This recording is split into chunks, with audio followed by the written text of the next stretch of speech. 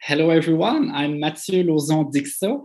I'm uh, your moderator for today's very special event, which is part of the new speculative fiction program in the Blue Metropolis Festival, a program that I coordinated with my colleague Pascal Laplante Dubé.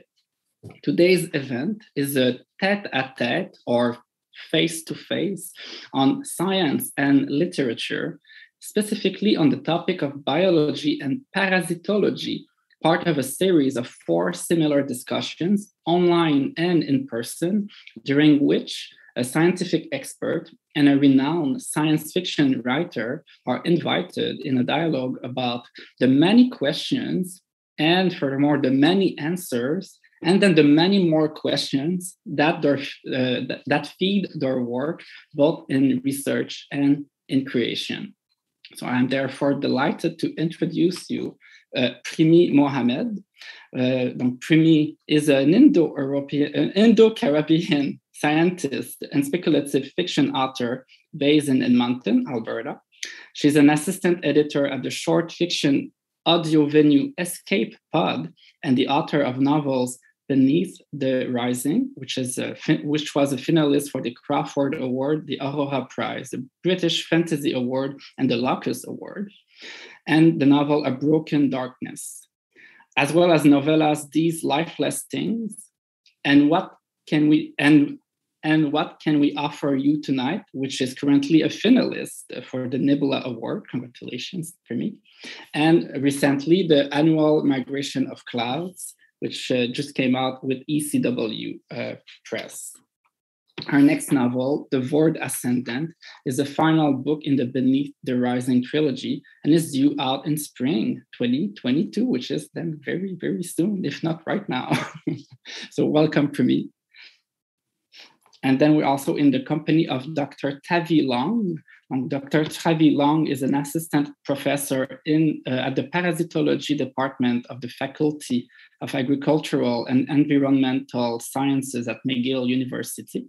She obtained her MSc thesis in genetic and microbiology and her PhD in cell biology from the University of Lille in France, during her PhD with Dr. Colette Dissous, she developed an interest in the molecular uh, and cellular biology of certain types of parasitic flatworm of humans. Recently, she gained expertise on the biology of filarial parasites, including the heartworm Dirofilaria immitis, that infects companion animals by investigating the signaling pathways that govern the development of the infective stage. As an assistant professor at the uh, Institute of Parasitology, Dr. Long is interested in understanding the molecular mechanisms involved in developmental processes and metabolism of flatworms in order to identify novel targets that could potentially be the basis for new antiparasitic drugs. In, addition, our research is focused on finding new ways to monitor the development of drug resistance in parasites. She also has a postdoctoral fellowship from the Prestige Marie Curie Fellowship postdoctoral fellowship program. And now I feel like I have so, so, so much to learn from you after reading your biographies and that I know absolutely nothing, which is exactly, exactly why I'm happy to be here. And I can't wait to hear both of you talk.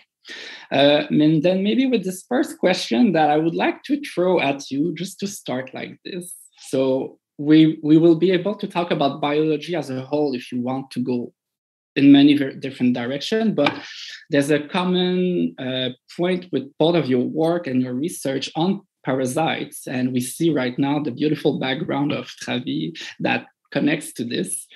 So my question would be this about parasites. So like their, their name is, I mean, to me, for example, it's associated to disgust, something that we don't want to touch, don't want to be part of, that we fear. So it's something that is scary as well. So we imagine them as being small beings that, you know, suck the life stream of us and that we cannot control, we cannot get rid of them uh, by ourselves. So, what does it do to write about them, to fix them in fiction, to study them through storytelling, but also to, to research them through scientific uh, researches, uh, to deepen our knowledge on them when it comes to that fear of the unknown, uh, the fear of the danger and the unknown danger that they represent. How, how does it feel to work on these parasites that are so scary for everyone? And then an underlying question what brought you i mean it's like a very introductive question you know we can go very deep after but what brought you personally as person in parasites so i could start with Thavy with the research elements of it if you would like to start with this um, so yeah, so it's a very interesting comment about the fact that parasites are disgusting. You're not the only one, Mathieu. I think there's a lot of people think that but um, there's also good there's also benefits from uh, parasites because um, if, if you don't know some parasites are studied because they secrete some uh, proteins that could cure other diseases. So they are even they are disgusting they, they can be also helpful to treat other disease human diseases um, such as inflammatory diseases and um, so, what brought me in this field is um, my first uh, lecture on, on parasitology. Uh, the professor that I had was really passionate, that kind of also transferred his passion on me. And uh, when I started to work on parasite, I was working on um, Toxoplasma gondii, which is a parasite uh, it's not a really uh, dangerous parasite, but it's more dangerous for people who are uh, immunocompromised or um, pregnant women.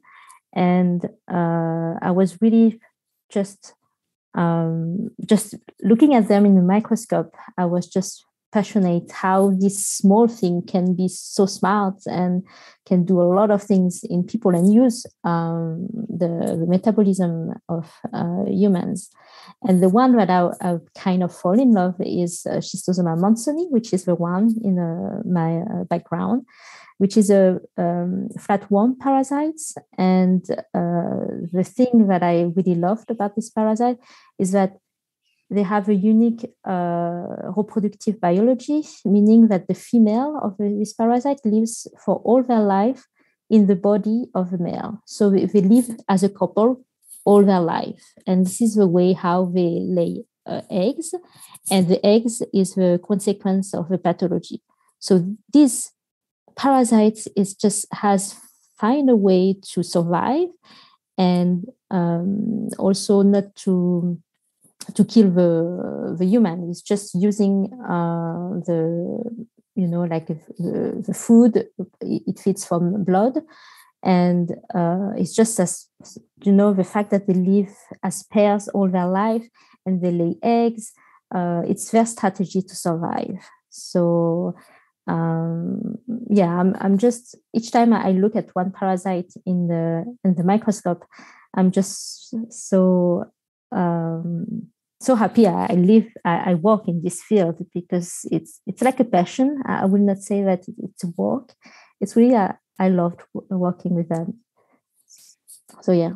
So so you actually have this sense of wonder yes. from your your object of study that yeah. is one of the main um, um, pleasure that we also have reading science fiction as reader mm-hmm. we want to be oh uh, émerveillé. We want to be uh, in a one in a wonder state. And this is mm-hmm. what authors of science fiction will often create. So in your case actually Premee so what brought you to that topic? What that subject in your fiction? Um, what interests about it? And do you feel that writing it plays on that on that dealing with the fear and the unknown of it and like understanding it better in a way.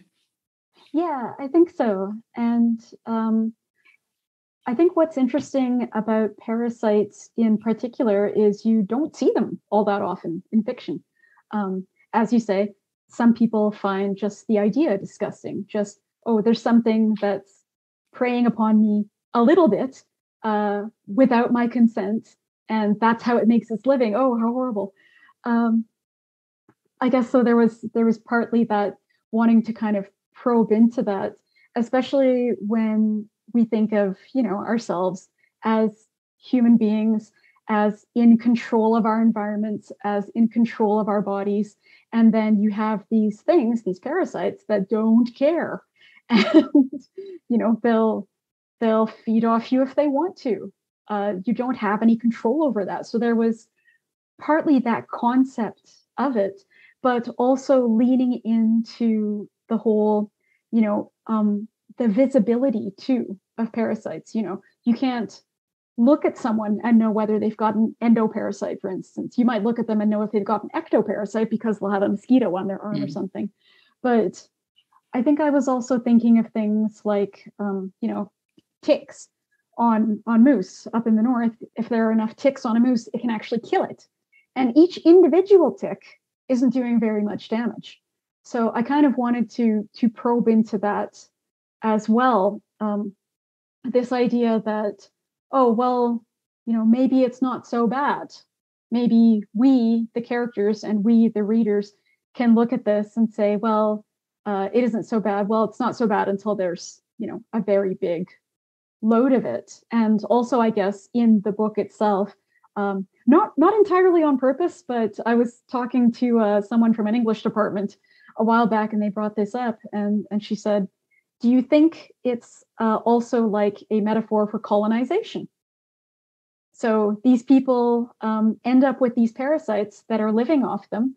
Uh, in the past they were referred to as a hereditary symbiont um, everyone who's got it disagrees that it's a symbiont they say it's a parasite and maybe Thavy can go into uh, a better description than I can about the difference between a symbiont and a parasite and a commensal organism. But basically, the people that have this disease in the book um, very much feel colonized and they would like to get rid of it if they can, and they can't. And there's that that lack of control again that's interesting um, in a fictional narrative, but I think also interesting when we look at um, ourselves as people, and again, how we look at um, our health, our lives, what's in our hands and what's out of our hands. I really wanted to probe into that. So, so actually, Thavy, like what, like what Premee just said, is there a like a like a basic knowledge that we could share right now, which would be like maybe a typology of parasites? Um, because you mentioned toxoplasma, but which is not at all the kind of parasite that you work on in your research. And in um, uh, Premee uh, novella, uh, The Annual Migration of uh, Cloud, we have another type of parasite, which is a fungi parasite, which connects, it feels like it connects to the I mean, to the whole body at some point, but to the nerves and so on. Um, so, is there um, different types of parasite that are easier to apprehend maybe for us and then after that that we can more easily bring into fiction such as science fiction um, oh, can you clarify uh, for um, when you say apprehend like uh, that uh, um, that we them? can that we can visualize or understand or actually like like envision as a whole. Okay. You know? yeah. Do you mean like a parasite that uh, people uh, know? Uh, I will say, I will um, say that I think most of people know uh, the malaria parasite, which is a Plasmodium mm-hmm. falciparum, which is the most common. Um, it's a unicellular um, parasite. So there's different types of parasite. There's like really um, unicellular, so really um, single cell uh, parasite, and there's multicellular, so more complex and bigger, um, such as the, the, parasite in the back. But there's also even bigger than just microscopic. Some of them you can just see by eye, um, you know, like a, a parasite from um, wild animals or from buffaloes, etc. They are uh, 30 centimeter uh, uh, size of parasites. So these are really disgusting. but but, um, but when you when we talk about science fiction and parasites, you know, mm-hmm. there's parasites that looks like uh, uh, you know, like one um, which is uh, hookworms. It looks like alien. you know mm-hmm. like it it has uh, teeth and uh, so there, there's like um, maybe some people who who read who who write uh, authors who write uh, novels about science fiction i don't know if they have looked at anything on parasites or uh, microscopic uh, animals but there's things that resemble um, to uh, to that so i don't know Premee well, I know that you, you were working on, on parasites. So how did you come to to write on parasite? Because it's not common. I would say like people write on virus, you know, infection or things like that. But why parasites? Yeah, good question. Um, literally, uh, it came from a tweet that I saw uh, that was about a paper written about a hereditary symbiont. I didn't even read the paper. I just fixated on the phrase because I thought it was so interesting. I thought, oh my God, a, a parasite or, or symbiont that you can inherit. And again, I think they were talking about Wolbachia in the paper, uh, which is actually a, a really, really interesting. Um, I don't even know if you'd call it a parasite. Uh, maybe Thavy can go into more detail about that, but um, I don't. I don't know about the difference between uh, an infection with a disease and a parasite. But anyway, uh, I started thinking about uh, what what kind of a disease could you get if you could inherit a parasite, um, and and what would this parasite kind of look like? And I, I based it, I guess, a little bit on Toxoplasma gondii, and um, I thought also about cordyceps, which has been used in um, the M.R. Carey book, The Girl with All the Gifts, uh, although I haven't read that one yet. And uh, I just started thinking about what if you had a parasitic infection? And again, a parasite would not think of itself as a parasite, it would think of itself as a symbiont. It would be like, I'm helping. But you know, what if you had a parasite that wanted to live because parasites want to live? If you had a parasite that wanted its host to live and to be healthy and to be happy and not take any big risks, hmm. how would it accomplish that? Um, so first of all you've got this you know this terrible idea. I don't know why i thought to make it a fungus. I just kept thinking funguses are actually really hard to get rid of in a clinical setting.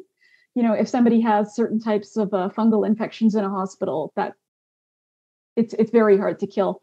But um, i was thinking okay well supposing you've got this this symbiont in your system and it's generating let's say uh, neurotransmitters um, or it's it's transmitting you know various other chemicals that uh, affect how you maybe can move or how you can think. And for the movement thing, I was thinking cordyceps because it forces, you know, the, the arthropod that it's infected with to march up to a high spot so that it can disperse its spores better. Uh, and you know, I was also thinking of uh, risk-altering infections like toxoplasmosis is supposed to be um, that alters the the risk assessment of animals that are affected with it. It makes them more likely to do something risky. I thought, what if you were infected with something that made you less likely to do something risky? Uh, and then that falls into the whole, you know, what sort of the existential crisis. What are we? We think of ourselves as a human, one indivisible unit.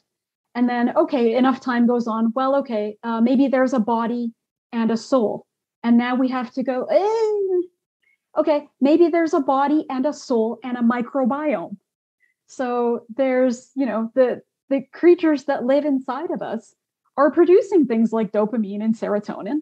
And who's to say that the makeup of our, you know, our microbiome isn't already affecting how we think and what we say? And how do you know that this isn't my microbes talking to you right now? this is like one of the um, the actually the one of the main point I would like us to uh, you to talk about, if it's possible, this concept of almost. Mm, I mean, it's not the right word in the context of science, but the cohabitation of the parasite and its host, um, and how we see it as something that is um, like a, a, fight, like a duel between both, and they are fighting one is trying to take over the other but in the end you mentioned it and it's what we see in your in your novella as well uh, Premee. it's it's trying to find a space, a, a place of uh, balance to coexist in the end. So, how does that coexistence finds its place in actual research? What do you see in research when it comes to the coexistence of the parasite and the host? And then, how do science fiction author will take that state and bring it elsewhere? and then make the parasite you know talk to its host and stuff like that and communicate with it which is what we see in your novella for example when he, there's like bursts of communication and some traumatic moments you know so like how how do you do you is it like a, a point of study to to see how the coexistence of parasites and hosts um, live together in the end? So yeah, there's a lot of studies about uh, host pathogen relationships, so host parasite relationship, trying to understand how um, what are the the different strategies that the parasite is using to survive inside the host without killing the host. Um, so the, one of the studies that I have is also um, involving um, some proteins that are secreted uh, by the parasites. So um, the the worm parasites, so it's it's, it's a, ca- a, category of parasites. So they have uh, the ability to um, evade the immune system. So they are not killed uh, by the host. They are hiding it's it's a mysterious uh, characteristic of uh, this worm parasite, and we don't know how uh, they evade the immune system. So the host is not is not able to kill the parasite, but at the same time, the parasite is cannot divide uh, too much because if not, uh, or cannot multiply uh, too much. If not, it's going to kill the parasite. Mm-hmm. So um, there's also there's a balance between uh, the relationship between the host and the parasite, but also between parasites between each other. Um, you know, they're not going to multiply too much because they, they don't want to kill the, the host. If not, uh, they're not going to survive. But so some some parasites uh, needs to be um, can live inside the host, but some parasite can also live or have uh, stages of um, of the parasites that are outside the host. So there's an adaptation also. Uh, adaptation is it English word? Yes, an adaptation of a parasite through its life cycle. So it it can some of the stages. So some of the stages of development of a parasite cannot survive out of a, of the host, and some can survive outside. But the one that survive inside knows how to use or to exploit um, things from the host. Uh, you know, for example, um, some uh, one parasite cannot synthesize cholesterol, but we know that we need cholesterol to survive. So what they are doing is using the cholesterol from the host. So, but we don't know how. So there's like a project that um, involve uh, a better understanding of how they use the cholesterol. So I'm, I'm also working on that. Uh, that can also be used as a new therapeutic strategy, you know, like develop drugs to try to kill the parasite if they are using the cholesterol, which proteins they, they use to, to use the cholesterol and uh, which drug we can develop to kill them. Um, so yeah, the, the host uh, parasite relationship is uh, the focus of a, a lot of studies. Um, because yeah if we can stop this communication or the, the, the fact that the parasite is is exploiting the host we can kill the parasite and uh, yeah or maybe as a host start using the parasite for ourselves for some to improve ourselves potentially which would be a science fiction trope potentially like superpowers yeah, this, is, this is what I, I said from the beginning is that parasites are not all of them are disgusting but most of the worm parasites the fact that they are known to evade the immune system this characteristic has been used also as a benefit uh, to cure other disease because like inflammatory disease is uh, uh, imbalance of the immune system. So the immune system is not really uh, good. And so what uh, researchers are doing is trying to understand which proteins or metabolites, small molecules, or RNA uh, molecules that are released by these worms and whether they can use these proteins to inject to people who have inflammatory proteins and then modulate the, the host immune system. So yeah, so there's a lot of research on that uh, using these uh, disgusting parasites to the benefit of, of humans. And then when you get into the science fiction of it, and then the these actual potentials, I assume these are richness to use for creating interesting stories and universe and characters and so on and so on. So in your case for Premee.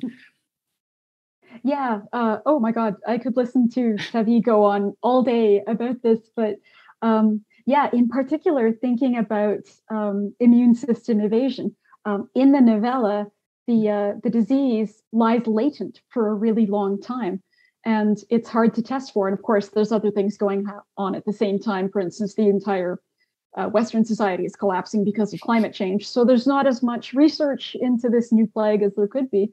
But the latency is a problem. They don't know how it's evading the immune system. You can't test for it. And my understanding is there are many parasitic diseases where that's the case as well, which is while it's in its dormant or latent phase, and you take blood tests, for instance, it won't show that you're infected with the parasite because it's sitting there. Um, it may be encysted or something like that. Um, you know, it may be in an inert form or as eggs that isn't reproducing, so it's not showing up as a thing.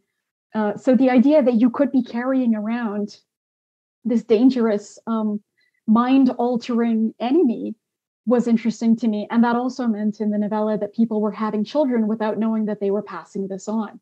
So that also contributed to the downfall of everything. But um, the idea of using parasites as something beneficial, uh, that is just so fascinating. And I'm surprised that isn't in more uh, science fiction, for instance, because when you look at things like um, cancer treatment that we're trying to do right now, um, you have to get, you know, a chemical compound, say, for instance, or or a little mRNA or or something like that, um, some therapeutic agent into the body, past all the immune system, you know, cells that would like to kill it because it's foreign, it's unusual, um, and to the tumor.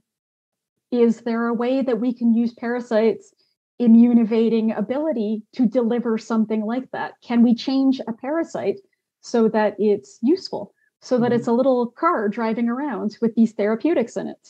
Um, because parasites are doing this already. They're very good at what they do.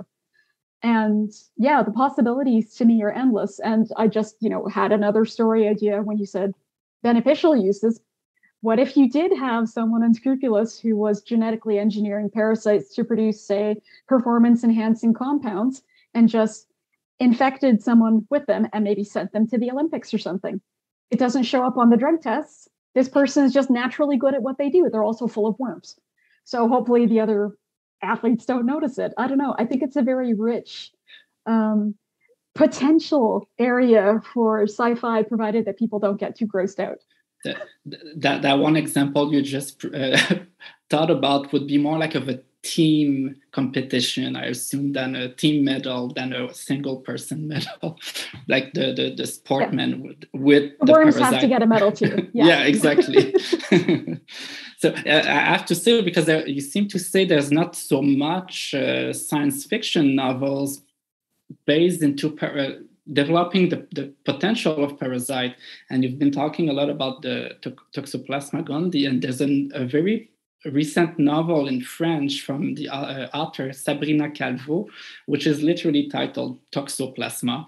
And it plays on this and also of the role of cats with this, because I, you know, but cats are everywhere, you know, in that novel. So it's a very quirky proto cyberpunk novel that takes place in Montreal, actually.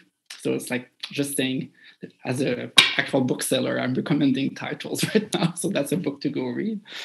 Um, you mentioned the um, there, there was an element you, in your answer earlier, Thavy, that I found interesting, and I was wondering if that's the case. You mentioned how the um, so parasites between each others have to be careful to maintain the balance so that they don't kill their host. Uh, are you referring to uh, parasites that are of the same species, like the same, like different elements of the same parasites, or like parasites of different types that are competing for one um, actual host? Does so that was, happen?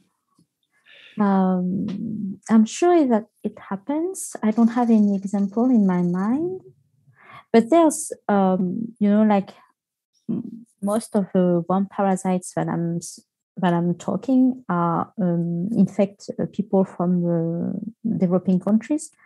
Um, so it's it's what we called also the disease of the poor because it it doesn't appear here, well, except if there's um, any uh, migration of uh, people that brings the disease.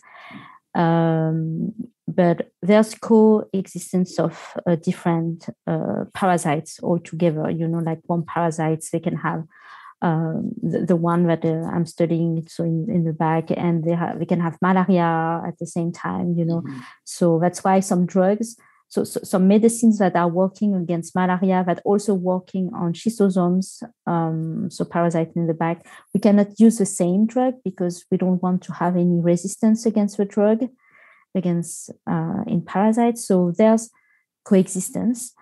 Competition, I I, am not really, I, I will not say no, but I'm not an expert on that. I don't think that's really competition, but there's really um, coexistence. Uh, as Premee was talking about the microbiome, there's really um, a lot of things that are ongoing, uh, especially in the intestine when you have uh, one parasite that infects the intestine because there's a lot of bacteria uh, over uh, parasites, uh, but compete. Um, I'm not sure. So I'm thinking about the parasite that I am investigating and the one at the institute. Uh, but competing, I don't have any example of competitions of parasites. I don't know, maybe Premee? uh, no, not that I can think of. And also, my uh, my microbiology classes were a long time ago. But um, the mention of malaria did make me remember, and this might be an urban myth, that apparently in the early days of um, of medicine, they would try to cure, I believe it was syphilis, using malaria. So they would infect people with malaria deliberately uh, to induce a really, really high fever, as it does. And apparently that would kill off the syphilis bacteria. And then all they would try to do afterwards is cure the malaria. So uh, I don't know if there's a way to play parasites off one another, but I can only imagine that if I was already parasitized by something, I would not take too kindly to a doctor saying, no, let's give you something else, you know, holding up a jar full of worms or something here. But these worms will fix your other worms. And like, no, thank you. it's like the, the, no, go Sorry, on. go ahead, Mathieu. No, no, no, that's true.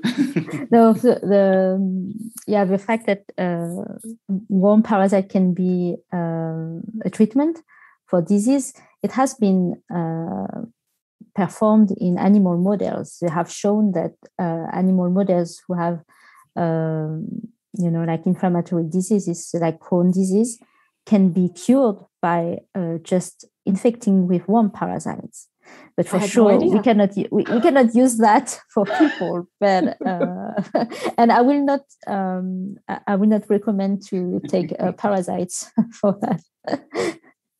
Not not yet. Maybe later when research proved it. Uh, earlier you were talking about how some parasites uh, in extreme ways in fiction but also in reality we have example i think you could present, talk about some of these potentially. So they they they are able to use the metabolism to make it do other things. They can they control the host. And it's like this uh, this vision of you know like parasites making uh, their host into like zombie uh, walking uh, creatures that you know they will uh, do what they want. So we see that in fiction. I was wondering how exciting is it to write this, but also how um, real realistic is it in real life parasitology you know? Is, uh, is there any cases of parasites that actually um, you know mind alter their host or you know make it do something that it wouldn't normally do and so on and so on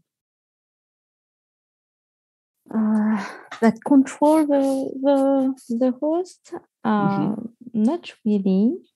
Well, we say that uh, the parasitic disease uh, makes people well it's like a we say it's a de- debilitating disease.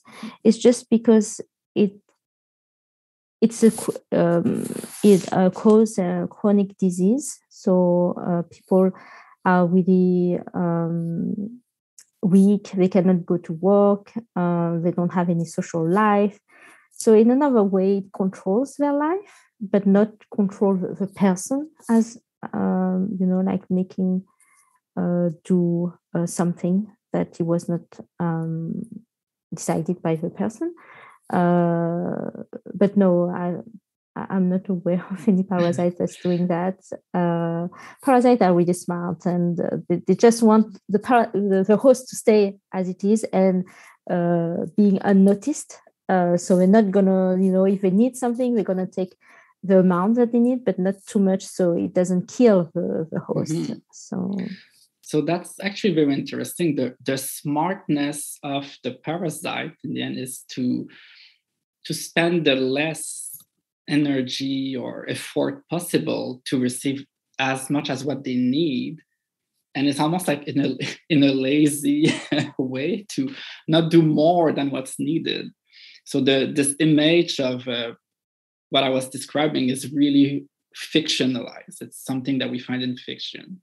Is there is, is this something because in your case in the novella uh, me, the the fungi do does stop the host into doing some certain things that would let's say be too dangerous for itself. It will like literally uh, spoiler alert it will block them from moving potentially. If there's like a, a, feeling of danger or it will make them run away and not help someone that they care for because there's a source of danger right there that they should not get too close to it because it would kill the parasite at the same time. So how did you think about that you know to make the parasite like a dominant being within its host in a way yeah and that absolutely was fictionalized yeah. Um, I didn't, I'm relieved. I didn't, yeah. I'm relieved. don't, don't worry about it.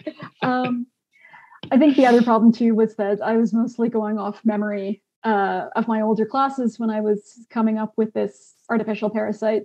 So I didn't actually do any research into whether um, people currently actually believe that there are any uh, human parasites that are responsible for affecting what I guess um, for the sake of argument, we could call free will.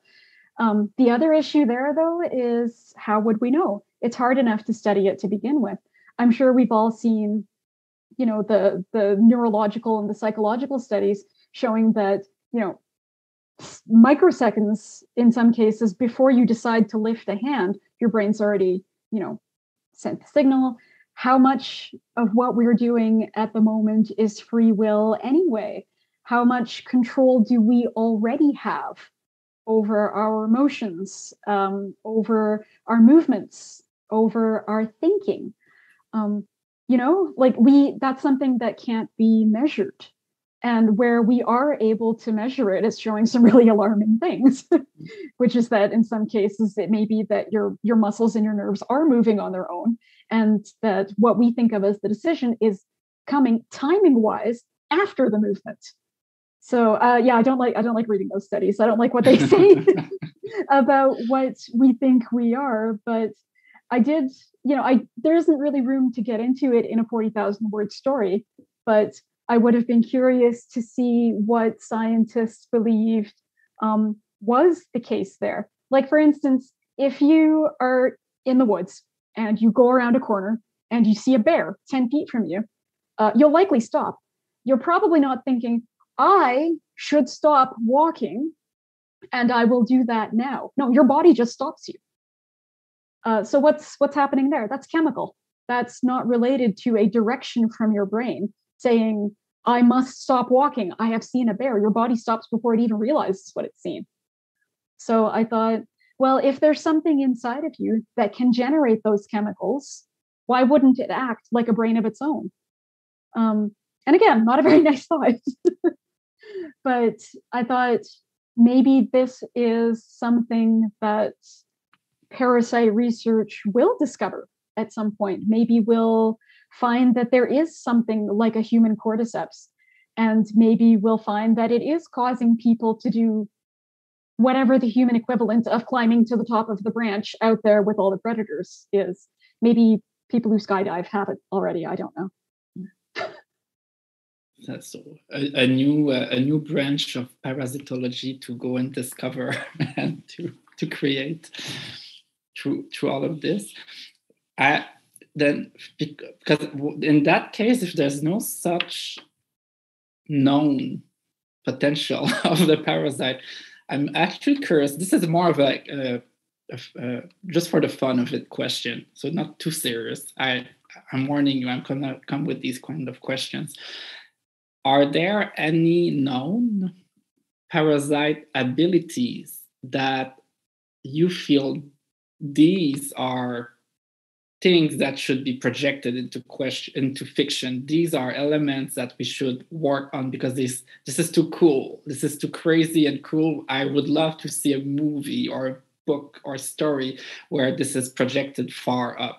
Uh, Thavy, maybe you've seen some of the cases of strange parasites that the common people don't, st- don't study the field don't know about it and you wish we knew about these kind of you know beings that have like these spectacular a bit like what you were describing earlier about the the couple uh, worms that you know, lives within each mm-hmm. other it's, this makes a complete crazy story honestly but like something like that is there like a special creatures or special functions or special like uh, superpowers of parasites that would be great to explore in fiction? Oh, hi. really great question. Um, this is really, uh, um, you know, when I'm working on Parasite, I don't think about science fiction. I, I think about reality. Like, if people will know about that, you know, like, because uh, parasitology, it's a field that, as you say earlier, that people don't really know you know they, they know that parasite exists but they don't even know what are really parasites. They know about bacteria or viruses and uh, about fiction. There's a each parasite has a characteristic uh, but for sure um, um, uh, uh we talk about um, schistosoma mansoni which is the parasite that i studied about the fact that they are really um, it's it's really unique in, in the nature that the that the male and female is really coupled uh, together all their life. And what the male is doing is that it's it, it's it's called a flatworm because it's it looks like a, a leaf. And it um, the side of a leaf is just curving to allow the, the female to live inside the male and what is unique also is that the sexual maturation, so the development of reproductive organs in the female, is dependent on the contact with the male. So there has been studies showing that if you remove a female from a male, the reproductive organs just uh, disappear or decrease. And if you put back a female with a male, there's like a stimulus or um, a signal that uh, allow the female to develop uh, the reproductive organs. Um, so it could be, I think, a cool uh, science fiction movie, you know, like this dependence uh, between the male and female, and this allow the the, the parasite to survive, but also uh, to transmit the disease again because it needs to go through a whole life cycle so meaning that the male and female needs to a couple and uh, lay some eggs and the eggs then uh, develop into uh, adult parasites so uh, yeah uh, i think my parasite is could be a cool topic for science fiction. That's a, a, good defense of your parasite. That's perfect. oh, that is so interesting. Yeah. Um, and that also made me think of um, anglerfish, which do it the other way around, kind of. So the female anglerfish is the larger uh, creature, and the male anglerfish is tiny, this little guy. And when he eventually finds a female, he attaches himself to her. He never eats again, and he survives with her blood circulating through him for nutrients and his sperm circulating back into her. So he almost is like a parasite. He's living off her, um, and he never eats for himself or fends for himself ever again because I guess he's in this very happy marriage. uh, and that also then unfortunately made me think well, okay, what about vampires? Are vampires parasites? They're not very different from a mosquito. So they prey on humans and they drink blood and they generally, I think, don't kill the host and they don't take so much blood that they do kill the host so that they can go and feed from the host again. And they probably communicate with the other vampires, parasites, um, to ensure that two vampires don't feed on the same person and kill them. so that, that's interesting to to actually dig into um, mythology and folklore as well to see example of human size or human level parasites that then make us understand better actual parasite that you can study and a, a very very large yeah. ectoparasite basically not different from a tick or a mosquito. yeah, that's a vampire. and actually, this is a. Um, I had like this really uh, gener- This is like a trick question because it's not really an actual science question, but would you consider in that case that um, well before going there what is the definition itself of a parasite. What define being a parasite? Like, what does it take to be considered for a being to be considered a parasite? Like, is there like a, a clear uh, definition or statement for that?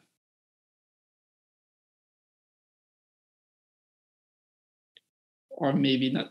it's too. It's a like. Do you need? Is it the fact that you're feeding off a host or living from a host? Is it... yes, it's living from a host. Uh, but as, as I said earlier, um, some parasite doesn't have all their stages of development that's dependent mm-hmm. of a host. So some stages can be dependent of a host.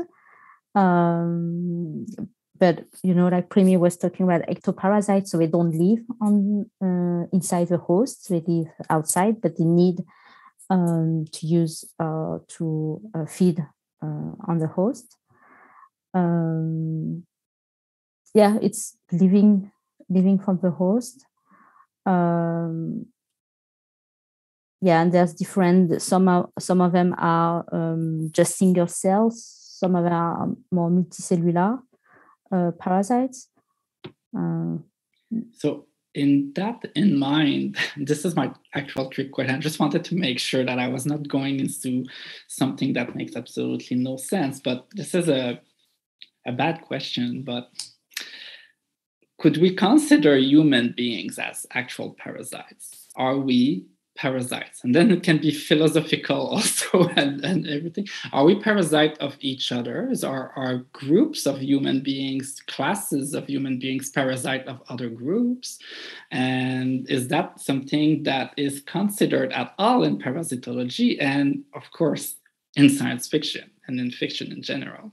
So earlier i was yeah. going to instead of using vampires as an example i was going to use landlords So landlords need a host to exist. they feed off the host. Um, if they take too much from the host, uh, the host will get rid of the parasite and they will go somewhere else. So I don't know. I think there may be groups. And again, I was kind of looking at uh, at clouds at that too, without trying to be too explicit about it. But what else is something like, say, for example, the British Empire going to a country and draining, you know, the resources out of it and arguably not giving anything back because when we were talking about the definition of parasites, and again, this goes back years and years and years. My my first microbiology class, I think, was in 1998. So, um, you know, we were talking about okay, a parasite lives off a host and harms it, and uh, a symbiont lives off a host and doesn't harm it. And then there's commensal, which I think lives off a host and they both benefit, except I can't remember if I've got those correct. But the parasite um, definitely, even if the harm is minuscule, it doesn't benefit the host and it does harm the host. So again, I'm thinking, well, that sounds like a landlord to me. and again, it, it also sounds like the British Empire showing up in India to drain things from it and uh, and leave eventually when the host kicks it out.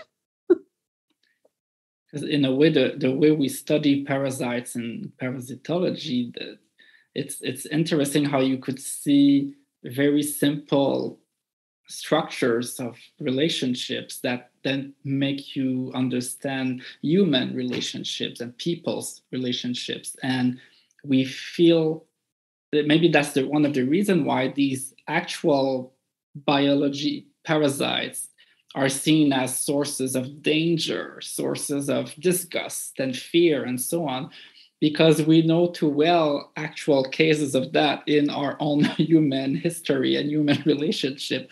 And then the reason why we see those parasites as terrible people, uh, terrible beings, is because of ourselves, because of our own species, the way we treat each others as humankind, you know. But Thavy, I, I see you like mm, not too sure about it. it's not the, the, the same topics. Mm. It's like, so in the end, like also what I'm wondering about this is like, is this like then a trope in science fiction itself? Are we going to see the parasitic foreign species as a group, as an invader of human of earth of humankind and so on and so on so that's a there's a little thing here yeah. um, i'm not sure if i have a, an opinion about that uh, mm-hmm. but i was you know when you were talking about uh, definition about parasites etc uh, what is really a parasite um, I don't know if you have uh, watched uh, the movie that came in 2019, Parasite. There's a, a movie from South Korea called uh, oh. Parasite, and it's exactly it's human.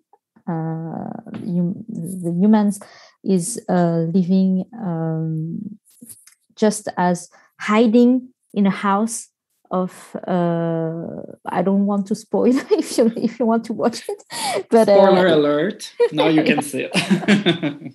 So it's it's just it's just enter into the house of uh, someone who is richer you know has mm-hmm. uh, a bigger house more foods etc and it's just hide on the side in the basement and it's just during the night just come and take some food in the etc and it's it's really what is a parasite uh, so yeah i think some humans can be also parasites uh, so it um,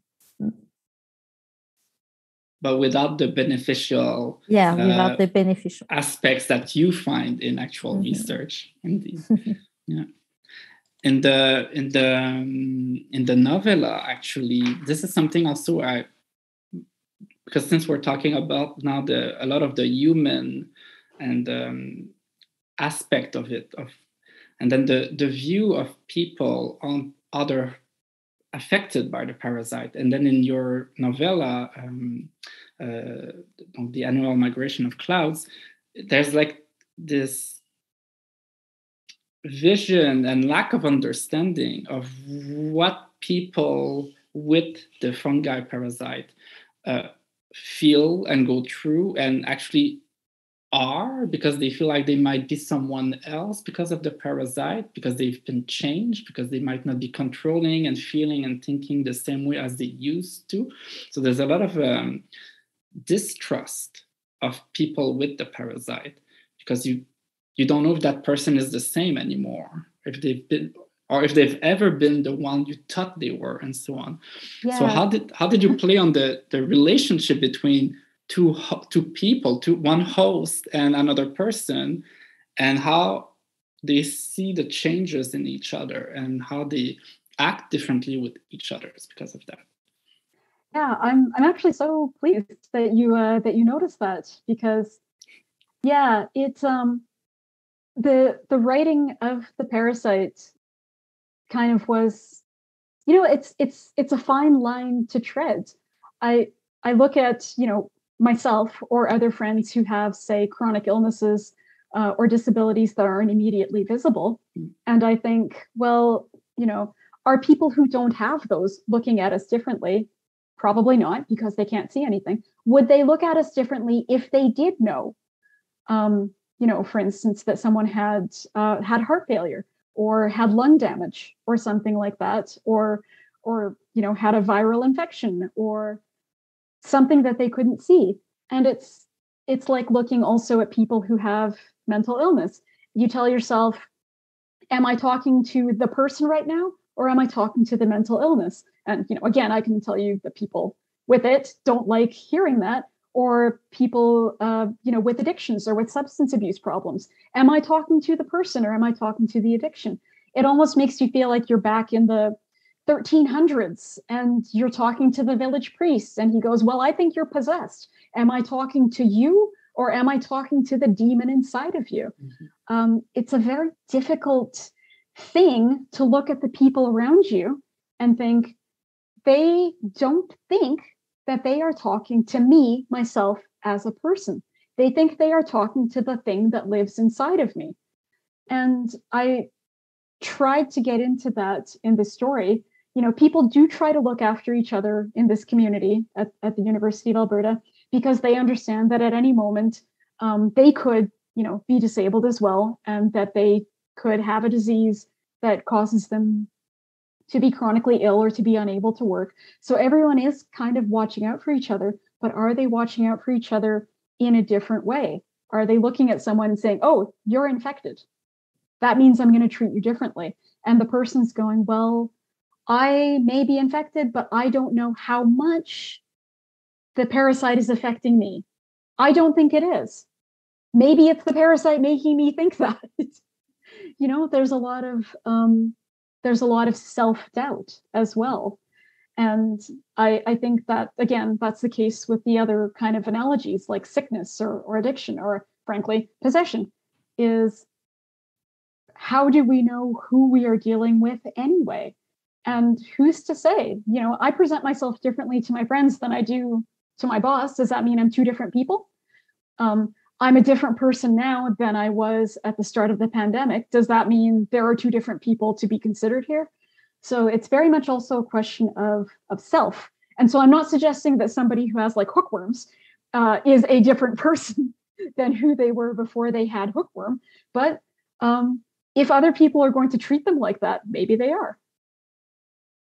It's going to be also like that's the whole thing because it, it goes back into what we you you were saying earlier about how actual parasites try to um, go in hiding to not be visible. So it becomes i assume for people who are affected in real life by those parasites it becomes something very difficult to deal and cope with because it might not be visible you might not be able to show it. It's small it's inside you.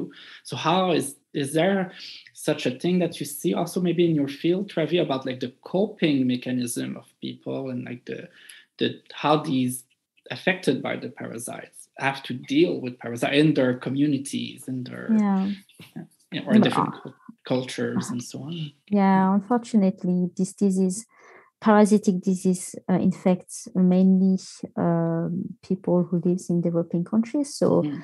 um, like helminth parasite, one parasite infects billions of people, so almost one third of the global population. Um, some of them have just uh, just a, a chronic disease, so it's not it can it's not really visible but it's more like an impact in their social life um, or they have fever or etc but there are some of these diseases that uh, are really um, uh, change changing their looking. So there's this um, uh, disease called lymphatic filariasis, where people have their lymphs that is just swelling, so they are um, they they look like their uh, legs are swelling. Um, uh, another type of filariasis is elephantiasis. So it looks like they have uh, feet like an elephant. So for those people, they are really put aside in their uh, mm-hmm. village or cities and some become blind because some uh, there's a disease called river blindness which is caused by by uh, um, filaria parasites and uh, they cannot do anything so they have to be always with someone who helps them. So there's uh yeah the the the look of the other people to to them change when they they have a disease. But it's I would say that it's kind of common in developing countries. So, yeah, unfortunately. So this is interesting because we were often talking about the, you know, as a joke, like the superpowers of parasites. That's something cool, nice, but actually, that's the tragedy of it is that mm-hmm. they are affecting real lives and real people who don't have resources or networks and to to um, cure themselves and feel better. And I would assume that most of a lot of these um, the conditions that they have because of these parasites, if they were in developed countries, it would be something very simple to yes, get right, rid of. Yes, because uh, most of these disease, so schistosomiasis, the disease of the parasite in, in my background, river blindness, as I say, uh, lymphatic filariasis. Um, all these diseases are called uh, neglected tropical disease, so NTD.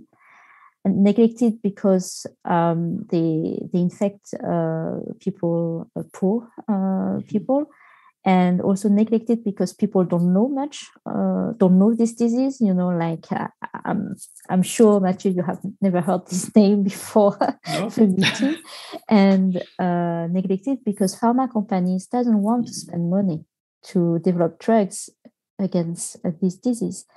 Uh, and as you say, if this disease were in uh, in um, developed countries in US, yeah, we will have uh, we will have money to develop drugs. Uh, research in this field will advance uh, really good. It's the best example is uh, COVID. It's um, it has in fact uh, everyone uh, in the world and especially developed countries. So that's why a vaccine came really fast because we had money to to put on this um, on this field but uh, it's not the same for um, for parasites. Parasites. So malaria it's a bit different because we start uh, there's more money um, to develop research on malaria uh, because also because of migration etc people uh, get infected not only because they live in, de- in developing countries but uh, most of the parasitic disease are um, really the disease of the poor. So, mm-hmm.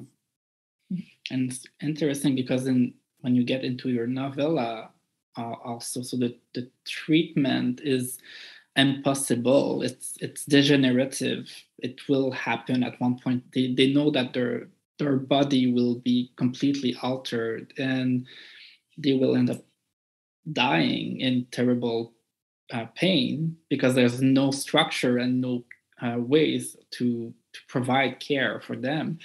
But then there's that place where the main character might go and we, we don't that's not the actual novella itself i would love to see this a sequel and see if things happen but like that we feel like in that developed um, sanctuary, you know, where potentially technology is still available and so on, they might not even have cases of the the parasite.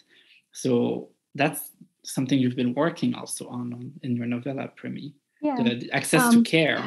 Yeah. Yeah, I was very much thinking of that. Oh, also, um, sequels were announced earlier this week. There's a book oh, for two yay. more sequels. So yeah, perfect. Yeah, those will be so, coming out. It's uh, twenty. What is it? Twenty twenty four. I think two more sequels. So by the time this recording happens and this broadcast, it will be a, a month closer to the, the, the, release. It's perfect. Yeah, but um, yeah, that was that was an issue for sure because when I thought of writing this story, um, I came up with the uh, with the disease first and then my initial thought was, well, if this is affecting rich people, why wouldn't we just cure it? Or why wouldn't we have a vaccine for it? So I thought, well, okay, um, I still want it to be part of the story. Um, so why don't I set it in the past?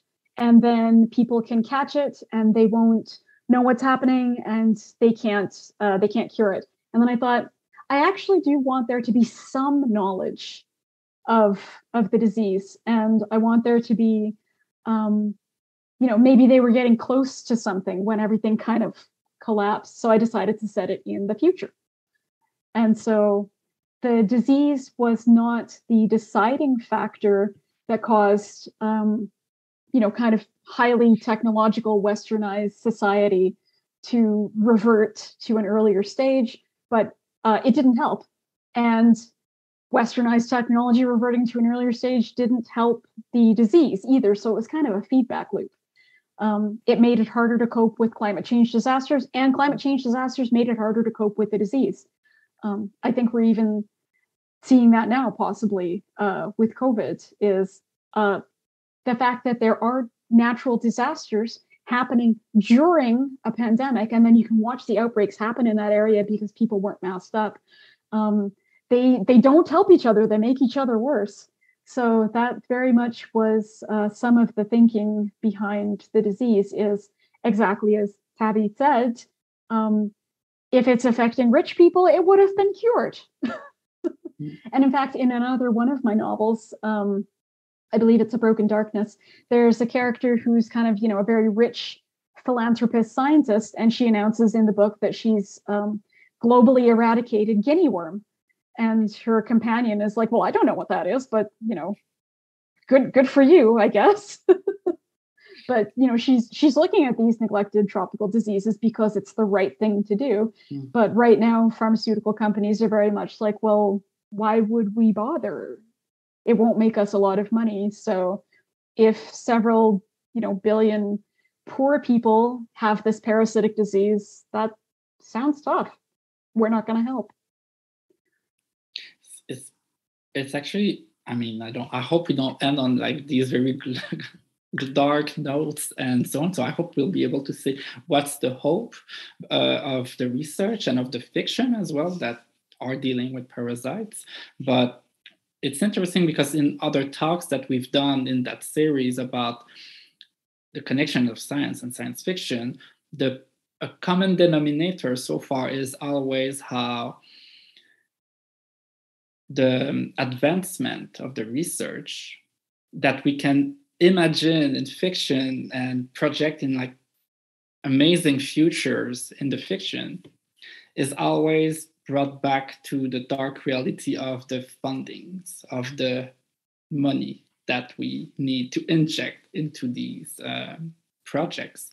So like so that's why like it's important to see that there are research centers university centers, state uh, uh, uh, programs that inject budgets and when we need to fight for them actually to to make these advancements because I then it means work that you do Thavy in your department and research will actually affect and improve hopefully people's life. And it's not just theoretical neither. This is the, the beauty of it.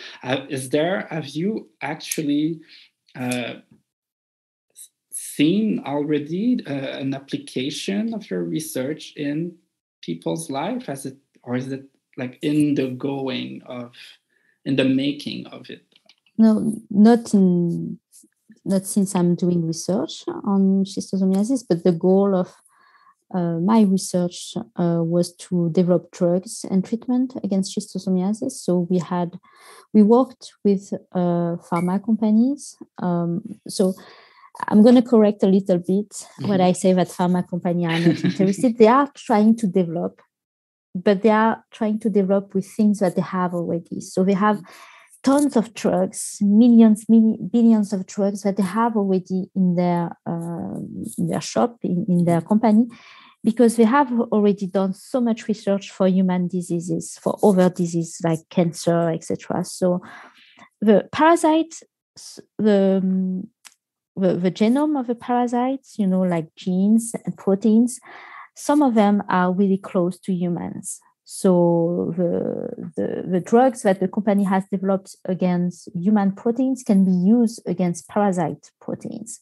So during my uh, postdoc training, I had to collaborate with uh, several company, uh, pharma company, where they also shared uh, some drugs. So we find we had some hits. It's what we call hits. It's drugs that are able to kill the parasites. But then we are always um, slow down. You know, we advance in developing and finding drugs, but then we are slow down because we have to apply these drugs in animals and then apply in the field. And this is where the money is mm-hmm. needed because working in the field, uh, you know, like developing clinical trial, it's it costs a lot. So uh, this is where we are slow down.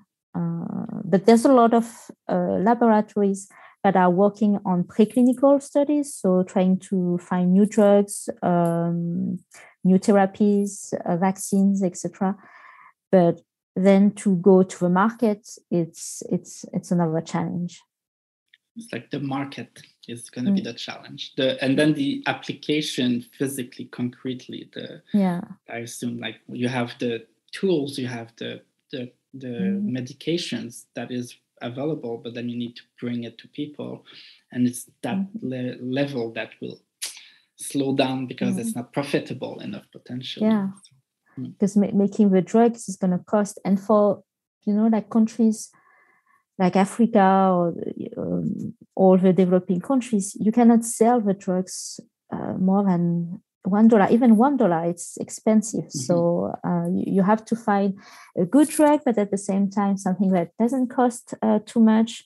So for pharma company there's no benefit. They're not going to contribute too much. So the, the, drug that is used for example against schistosomiasis is a drug that has been used for another human disease. And just randomly they found that it has an effect against uh, schistosome but it was not a drug that were developed against the parasites. So um, the company, it's, it's Merck, it has been developed by Merck, now is uh, giving the drugs because they're making so much for uh, the human disease that now we can give it for almost free to uh, the other countries. So there's there's like a, a, a campaign where there's uh, mass drug uh, treatment uh, mass drug administration treatment in uh, developing countries with this drug that doesn't cost too much. But we need always more because uh, it's not it's not a, a, vaccine, so it doesn't prevent. It's only a, a, drug that you use when people are infected. So um, you have to take it again and again. So mm-hmm. uh, yeah. And now we're getting into the last couple minutes of our mm. actual discussion. But I, for you for Premee, I wonder if there's like a to to, to link to that last question. Is there a, a vision of a solution in your world? Is what what do you feel like they would? Do you feel like in your in the in the future that you're presenting in that novella, is the is there going to be a cure to it, or will we have as to live with the parasite, or will the parasite take over and potentially human is going to not be needed at that point? Or will we have to read the book to find yeah, out? we'll have to wait and see. But um but listening to Thavy talk uh made me also think that uh, one thing we haven't really discussed and we only have three minutes so we can't discuss it is um the environmental control or limitation of these parasites if people are getting infected, for instance, because of um, infrastructure or their environment, or the parasites being endemic in the drinking water, maybe we should be looking at stopping parasites, parasitic infections at the source. And maybe that's something that we should have done for the disease in the book if we had had the foresight to think of it to prevent people from getting infected in the first place, now that we know it can't be cured. So I guess uh, if I want to leave anybody with anything, it's um, we should be thinking more about the precautionary principle. And we should be thinking about stopping things before they start, not after they start.